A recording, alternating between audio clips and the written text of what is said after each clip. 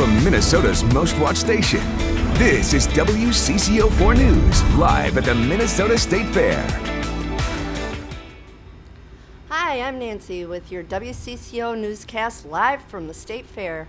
We want to begin today at the haunted house where WCCO anchors Frank and Chris have gone in but have not made it out.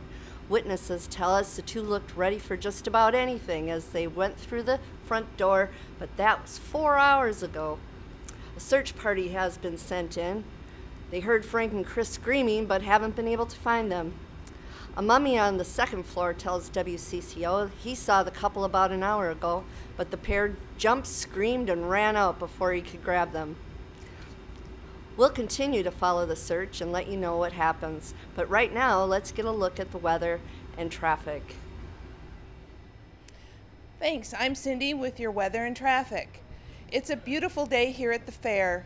We're told officials are expecting record numbers of people on the streets.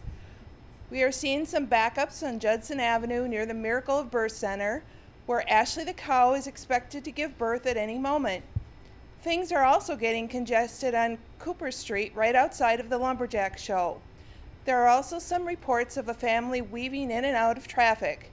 It turns out they couldn't wait to try the new bacon fluffer nutter.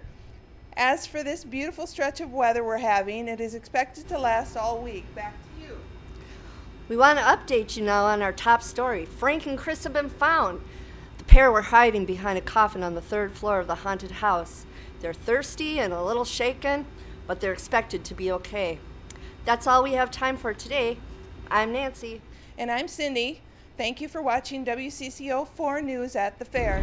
This has been a WCCO4 News Update from the Minnesota State Fair. Thanks for watching.